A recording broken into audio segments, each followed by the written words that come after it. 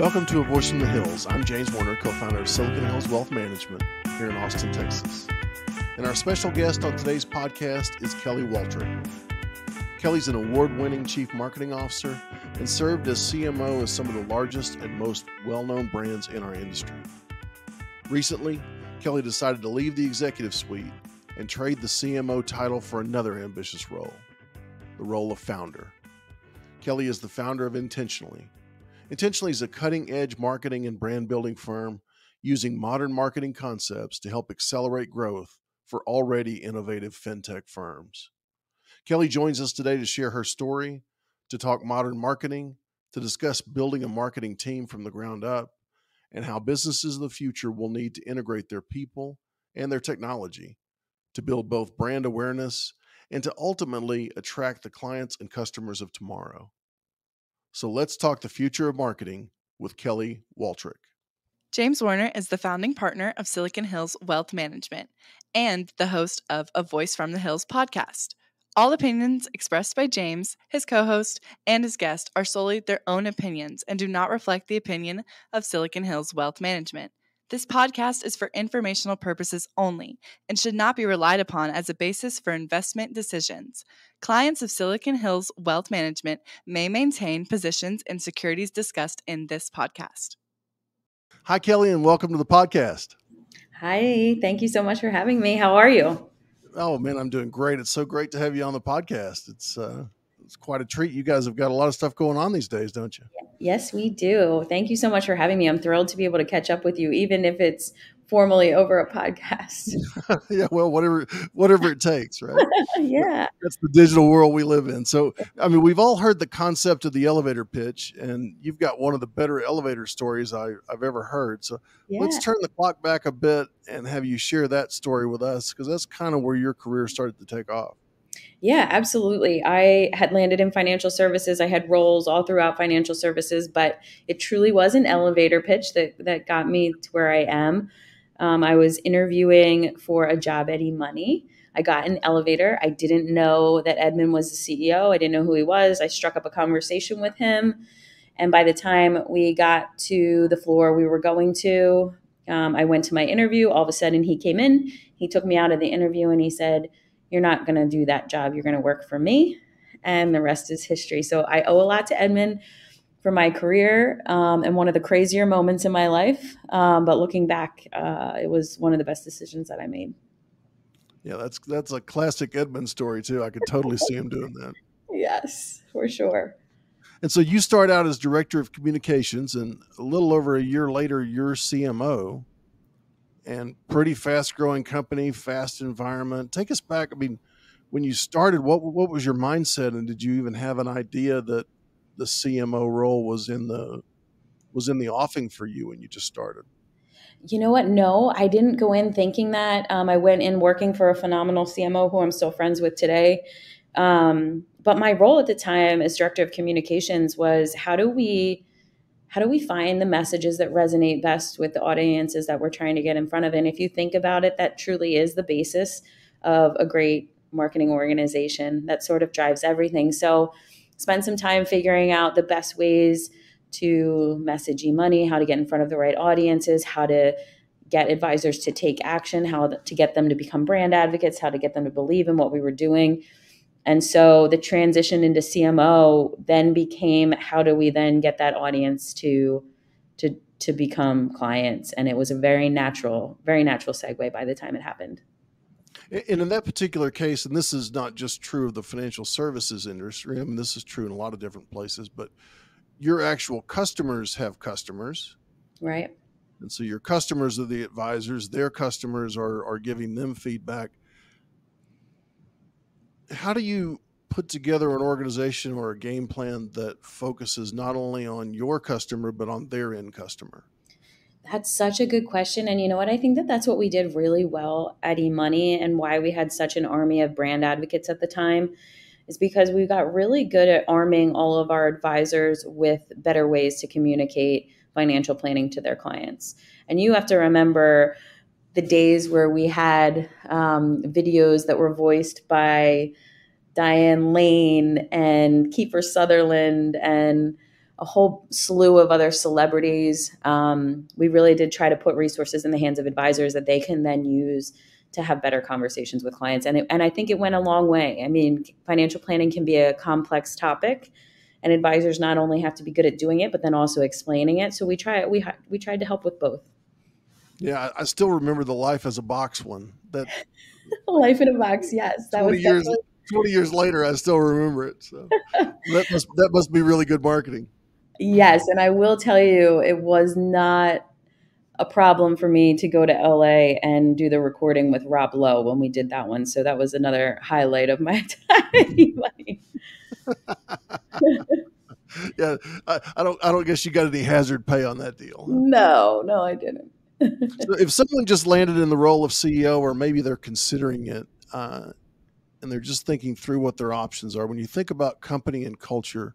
Yeah. Uh, what kind of company culture would you like to see in place? How does a how does a corporate culture set a future CMO up for success?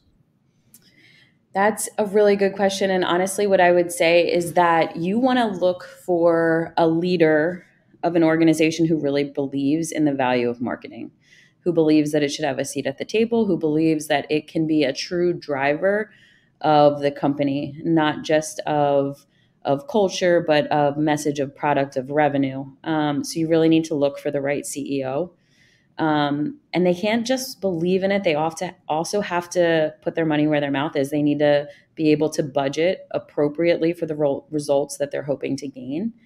Um, so I think that the leader is one of the most important things, looking for the right CEO. Beyond that, you have to believe in the product, you have to believe in the tool and the value that it brings to the consumer um, in this case, in my career, to the advisor. And then the third thing I would say is you want to look for products and companies that have an army of advocates. If you look at my career, I went to eMoney and then I made a jump to Orion very intentionally. I looked for companies with leaders who believed in marketing, who were willing to budget for it. I looked for products that were solidly built, and I looked for companies that had brand advocates in their users so that they the word of mouth would be um, a way to amplify the marketing that i was doing internally. And so you've been at the forefront of uh, some successful rebrands acquisitions uh, yeah. product launches the whole nine yards.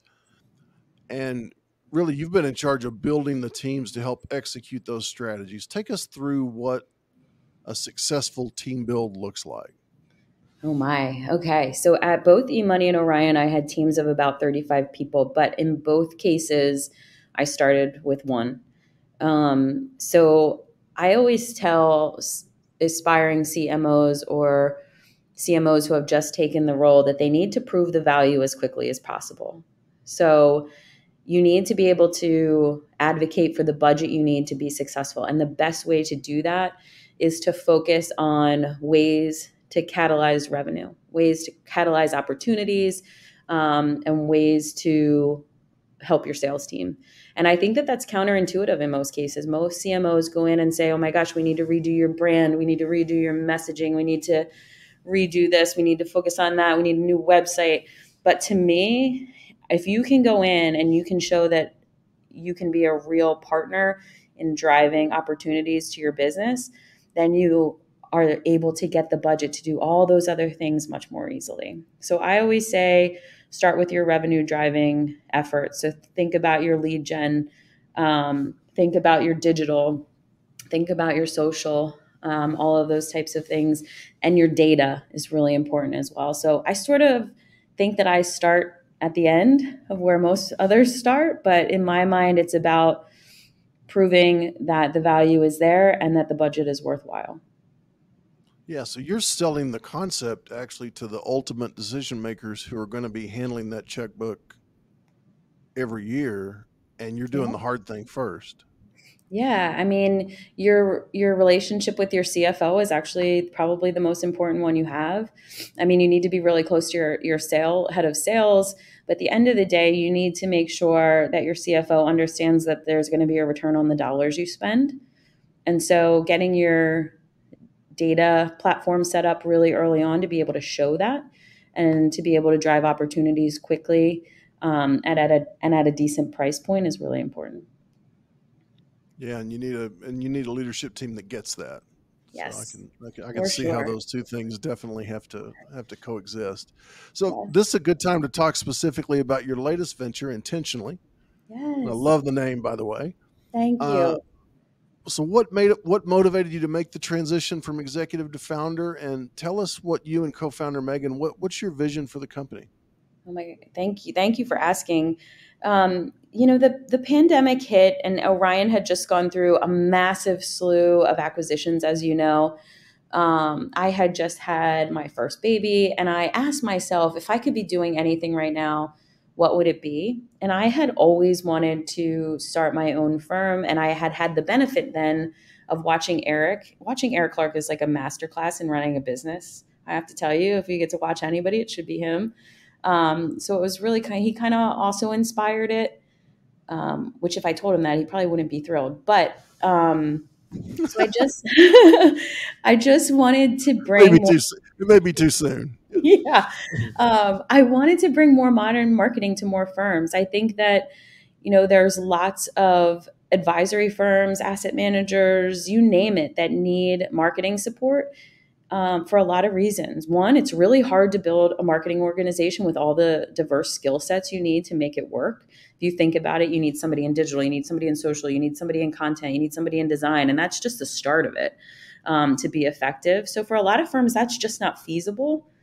And then if you layer on the fact that you need industry context because this industry is so nuanced and the fact that it's hard to find good talent, I just decided it was a really good time to provide an outsourced marketing model to firms where they get access to all of those skill sets at once with folks who understand this industry inside and out um, and at a price point that is reasonable enough that we can show value quickly, like I said and prove that the dollars are worth spending. So let's talk about, let's back up and talk about modern marketing for a second. Yeah. Why don't you define it for us? How would you define it if you just had to put it into a short uh, definition? Yeah, I think there's two components of it. I think the first uh, are the tactics. I think modern marketing is um, leans towards more digital tactics, but also more omni-channel efforts. And then from a more overarching perspective, I define modern marketing as being responsible for generating revenue. I think this industry is so stuck in the past in terms of, oh, marketing makes our pitch books and our brochures. Whereas I, you know, maybe it's because I come from a SaaS background, but I, I like to make sure that there is a really strong correlation between the efforts of the marketing organization and the growth of the company. And, and would it be fair to say that modern marketing is more customer focused and less outwardly product focused, or is that is that not what you would, or would you disagree with that? No, I think I think you're spot on. I think there's definitely a shift, especially in our industry, sort of a realization that the old way of trying to sound so overly smart and sophisticated is not resonating, and that we need to be human and talk to investors like they're real people um, and simplify things for them and be conversational and casual in the way that we're approaching our marketing with them. So I definitely think you're spot on in terms of there's been a, a, a shift. It needs to still continue to happen, but there's definitely been a shift towards a more human approach to messaging. And how important is receiving feedback throughout the process? Uh, Everything. When, when, do you when do you ask for it?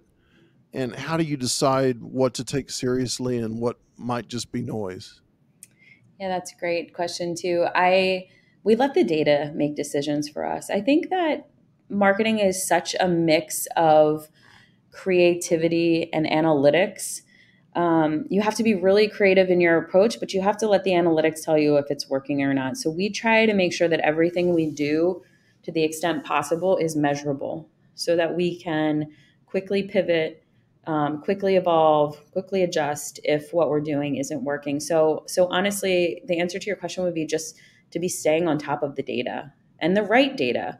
You know, there's a million data points that you can look at when it comes to marketing. So, honing in on what are the data points that are going to tell you the most about how successful your programs are are doing. And you talk a little bit about uh, getting out of your comfort zone and, and developing a new playbook. I think instead of what you just were referencing, you know, kind of repack, repackaging the same old playbook. Yeah. What does that new playbook look like, and how does the concept of modern marketing transform it? Not just for financial advisors, but for you know for businesses across the across the landscape. Yeah, you know, I always tell organization my whole career I've told organizations that I've either worked with at intentionally or firms that I've been the CMO at or even firms that I've interviewed with that a good marketing leader or a good marketing function changes your whole entire business. It's making your product teams deliver things when they say they're going to deliver, um, that do what they say they're going to do. It makes your sales team accountable to converting the opportunities that are handed to them. It makes leaders, CEOs accountable to being the thought leaders that the marketing team is saying that they're they're being. So I really think that the right marketing leader at an organization and this is this is a big job to fill is essentially a catalyst for personal growth in the entire organization.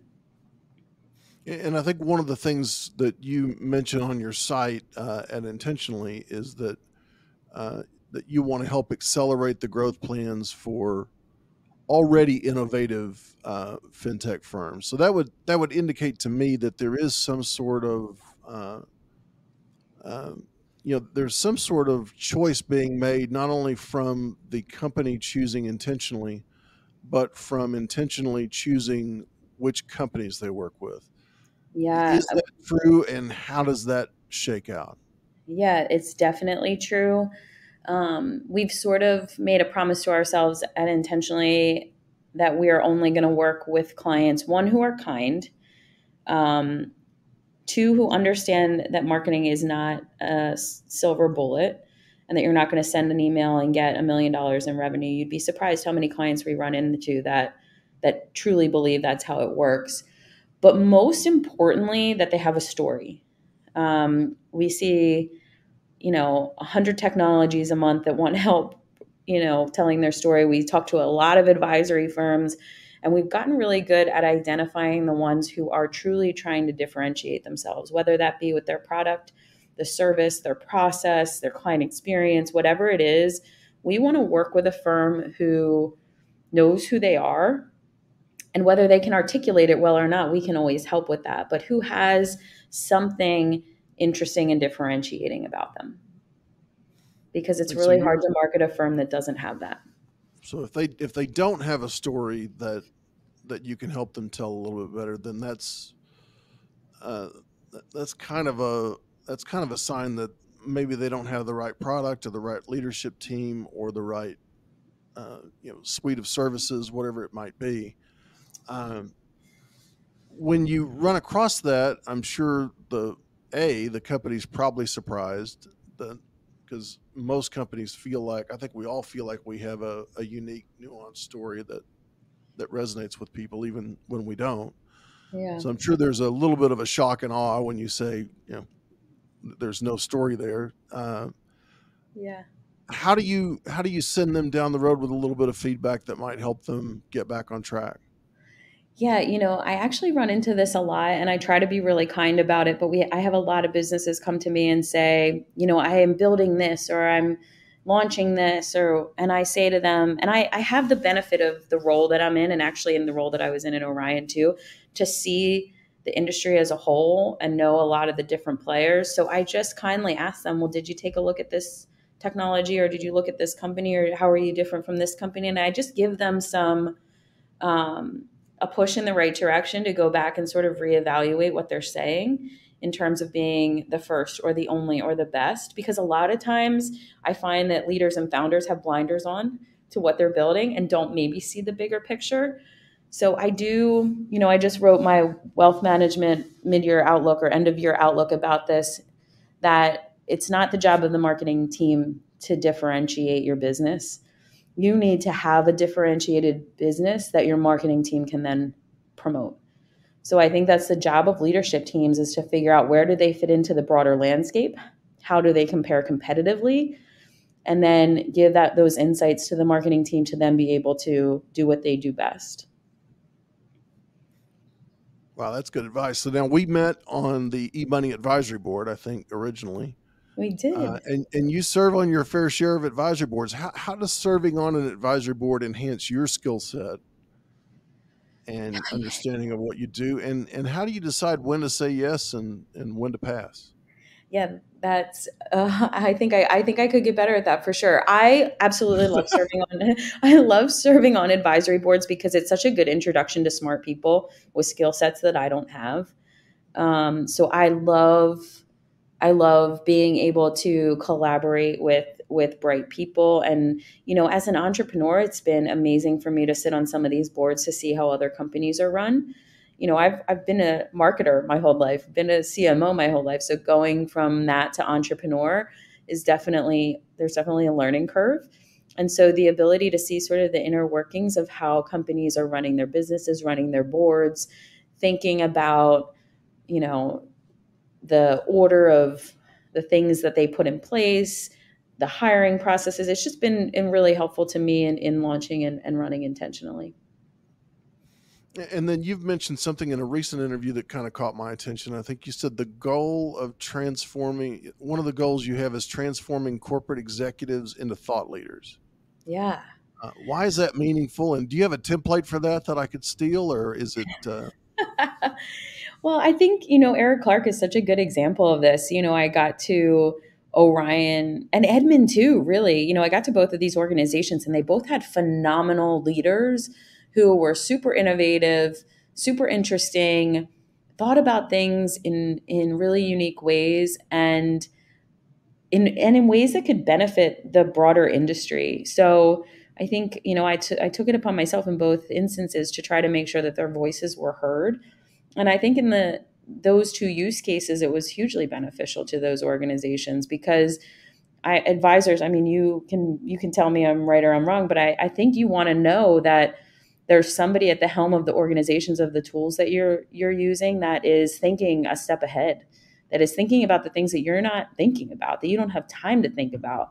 And you want to know that somebody is is out there on your behalf, um, ready for the next thing that's going to come down the pike. So I think making those two leaders, thought leaders, amongst many other executives of both of those firms, but those two come to mind as as the two best examples.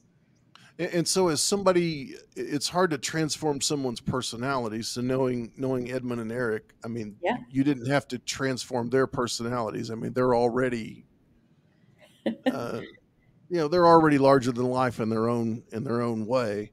Yeah. So in that way, you just have to kind of direct the public to see what you see. Yeah, exactly. The audience to see what you see. What What about maybe a late bloomer uh, CEO or or somebody who hasn't gotten out of their comfort zone or really ha- doesn't have the same? Maybe they're a great operator of the business uh, in their own right, but don't have that commanding personality. They don't have that yeah you know, take over a room type thing that that both Edmond and Eric have. Yeah, we have a client today who um, has been with us for a year, and it has been a shocking transformation for him, and one that I am so excited about because he is one that was very uncomfortable, very uncomfortable on video, very uncomfortable articulating sort of his ideas, but he had them. He had a ton of amazing ideas, and he was really good at tying this industry to pop culture to history to all kinds of interesting things that catch attention.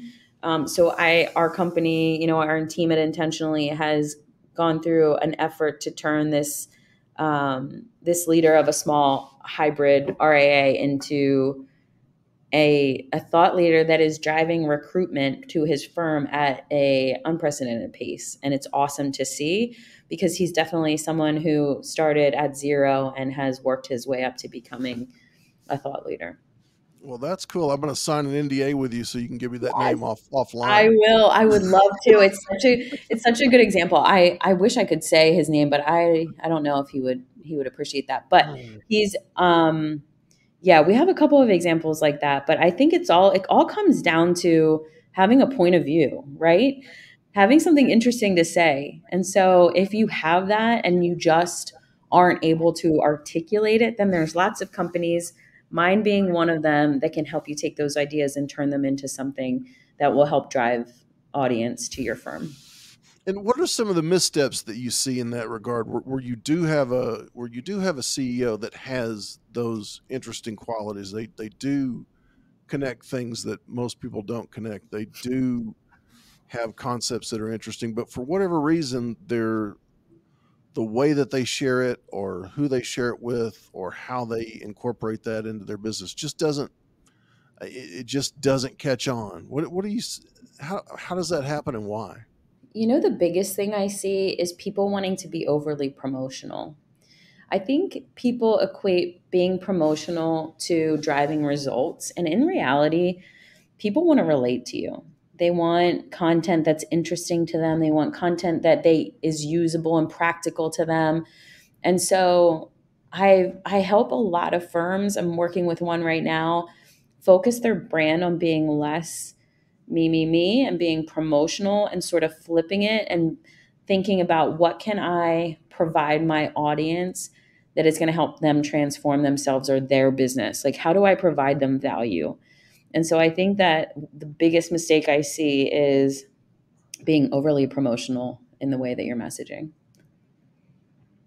And then I guess uh, over over Thanksgiving holidays, you guys were pretty busy. Uh, you acquired C Suite, yeah, uh, social media, and got a new chief growth officer out of it, Tina Powell. Yeah, and believe it or not, I had never met Tina in person until just a few months ago. Ah. Uh, so that's the I, you know see her everywhere, of course, but I'd never actually fit met her met her in the flesh until I think we were at the Riskalyze uh, uh, conference together and finally got to meet her. So congratulations for uh, uh for Thank that. You. I think you you made reference to the synergy as electric. Yeah. And so how do you see that electricity translating to your clients? Yeah, that's thanks for asking that. Um, bringing on Tina has been amazing. Um, we've known each other for a lot of years. And actually, as I was starting intentionally, Megan and I went to her and said, you know, this is something to think about teaming up with us. And she said, no, no, no. I, I, what I'm doing is great. I love my company. And then we, I think we wore her down over time. um, but essentially, she is phenomenal at growing audiences and growing communities. Um, and I think the future of marketing is owning your audience. If you take anything away from this podcast and this conversation with me, think about how your firm owns their audience. I think a lot of advisory firms, a lot of firms in our space, they rent their audiences. They go on other people's podcasts. They do advertising through other publications. They guest blog. They do all these things that essentially are driving traffic to other people's web properties. At the end of the day, the firms that win are going to be the ones that amass their own audience and who can use that audience in different ways, whether it be to upsell, cross sell, um, whatever it is. So I think that the future of of marketing is really owning your audience, and Tina is a master at that. Well, and I think you've hit on an important theme because I, I, think one of the reasons people are overly promotional is because they are renting their audience. And they think, I've only got the audience for a, a short period of time. Better sell them while I got them. Right. Uh, and when you own the audience, then you really don't have to be promotional uh, because eventually they're going to come to you and say, okay, how would I, how would I buy what you have? Yes. Or maybe I need what you have. I'm not sure, but I, I think I do. And even in your case where, you know, you put the idea out to Tina initially and it was something she wasn't interested in. If you would have gone for a really hard sell at that moment, this probably doesn't happen. Right. But when you leave it out there and over time it it kind of takes on a life of its own and it becomes uh, it becomes an acquisition that probably otherwise wouldn't happen. So I, I think that's a, a, great lesson for people when, you know, there's nothing wrong with telling someone, you know, I've started this company, I admire what you're doing, and I really think we should work together. Yeah. Uh, and just kind of leaving at that and see how that, you know, progresses over over time. Yeah, I have a lot of advisory firms that call me and they say, you know, I've been sending this email newsletter for a couple months now, or I've been doing this for a couple months now, and it's not working. And, you know, the first thing that I say to them is, it's not not working because there's a catalyst for financial services. People don't wake up in the morning and say, I need a financial advisor. Something happens in their life where they realize that you know their the management of their assets is beyond what they're capable of or they have a life event. I mean you know this i'm preaching to the choir here but people need you to be in front of them so that when they one of those moments arise in their lives that you're the first thing that they see. I mean this is not overly complicated stuff. So I think I, you know, I have a lot of conversations about I tried this and I tried that and I tried this and it's not working. At the end of the day, marketing is about being consistent and staying in front of your audience with messages that res- resonate with them. It's a pretty simple formula um, as long as you're talking to the right people. Well, and it's and it's funny. I think every industry probably sees their own industry as a little more complex and a little more nuanced than it actually is. That's true. Yep. And at the end of the day, as a as a marketer, you've probably seen hundreds of different companies in multiple different industries. Yeah. Do you find they're all a little less complicated than they think they are?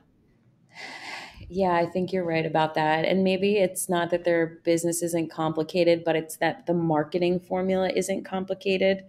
And so you know, we'll I'll have a company come to me and say, "Oh, but you don't you've never worked with a XYZ before." And I'll say to them, you know, and I'll say to them, "Okay, that's fair, but what I know about growth in general and about growing the type of firm that you have is that you need to do X, Y, and Z. And the formula obviously shifts and changes a little bit. Um, but essentially, yeah, it's not it's not as complicated as a lot of a lot of folks make it out to be. And so now you're you're a wife, mother of two, and yes. entrepreneur. Now you've got a lot of different roles and titles that are uh, Phillies fan. Uh, how does how do all those experiences change you as a consumer? Yeah. And as you change as a consumer, does that change you and change how you view providing advice from the other side of that equation? It definitely has changed me as a leader. I will tell you that. Um, you know, I I always say to my team here that um, Intention.ly Kelly is definitely not Orion Kelly. I had no kids when I was at Orion. I ran 24 hours a day, had nothing else to worry about. Um, and now prioritization is the number one thing I have to worry about in my life. You have to be super efficient when you wear a lot of hats, right? Especially being a mom um, and having aging family members. So I think it's about using your time more wisely. So I don't think it's I, I don't think it's that I get less done in a day. It's that I get the right things done because I have no other choice. and and as a consumer, I would say yeah, I think that it's made me realize not that I didn't already know this, but that having the attention of the consumer at the right moment when they're ready to make a decision is so important because people's lives are busy and they have a lot going on and everybody's wearing a lot of hats and you just never know what's going on in someone's lives. So so being present at the moment that something they have a need is just that much more important now that I have this perspective. So if if I had to rephrase that for you, you've got to own your audience and you've got to be there in that decision window with an actionable way for for them to move forward. Exactly. You got it.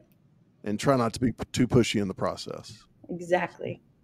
I like it. I like it. So let's uh, let's put yourself in the mythical CMO chair again. And if yeah. I could only tell you, you're evaluating taking a a corporate executive role, marketing role with a with a company, I can only give you three metrics of that company. I can tell you three things about it for sure. I can only tell you three. What three do you need to know to decide whether this is a good job to take? Um, I need to know your NPS score. Okay. I need to know. And let's translate that for the uh, for the non-initiated audience, what is NPS? net NPS is a net promoter score. So it essentially net promoter tells, score. Okay. Yeah, it tells you the satisfaction of your clients. Um, okay. If you're evaluating a CMO role, you want to know that the clients that are using that product are happy um, and that you're not walking into an, a, disaster. Um, I would want to know the if they most companies won't give you their you know all their financials right out of the gate, but I do usually ask what is the ratio of marketing budget to revenue. I think that's really important to understand that they're giving you, and it's not you know, I'm not a believer in that marketing budget should be 1% or 10% or whatever. I think it totally depends on the business, but it will give you a sense of, you know, what resources do you have at your disposal? Um, and then I want to know what are the goals for the fi- following year. So I want to know how happy are your clients? What are the goals for the following year? And do I have the resources to, to get you to those goals? Wow, that's a good list. I like it. Mm. Uh, all right. So, final thing, let's get back to the elevator. Yeah if you could take a ride up that elevator with your younger version of yourself, uh, what would you tell her? What advice would you give her? Oh my gosh. I would say everything happens for a reason and enjoy the ride because I am really appreciative for that moment. Um, and all of the ones after, I've had the, you know, I've been lucky enough to work at two amazing companies and now to be running my own and working with clients that I adore and teammates that I adore. So I would say buckle up and enjoy the ride. Oh, I like it. I think you just came up with the uh, title for the podcast. Perfect. Thank you. I, I, appreciate that. I don't have to. Uh, I don't have to wordsmith that now. So. there you go. well, Kelly, thank you so much for joining us and spending a little time with us. Uh, best of luck on everything that you're doing with Intention.ly. Thank you. I really appreciate you having me. And that's a wrap for this episode of A Voice from the Hills podcast. We hope you enjoyed today's episode. And for access to this episode and all prior episodes, you can subscribe to A Voice from the Hills on Apple, Spotify, or wherever you access your podcast. You can follow A Voice from the Hills and Silicon Hills Wealth Management on social media to gain access to all of our content. And we've also rolled out a new mini pod called The Stream. The stream is going to highlight timely updates and information and introduce important ideas and concepts in short but impactful three minute micropods. You can subscribe separately to the stream on all podcast platforms, and you can access the stream through any Alexa enabled device by simply asking Alexa to play the latest update from Silicon Hills Wealth. If you'd like to learn more about Silicon Hills Wealth and the services we offer, please visit our website. And as always, we cannot thank you enough for engaging with us. We can only do our best work when you are here to listen.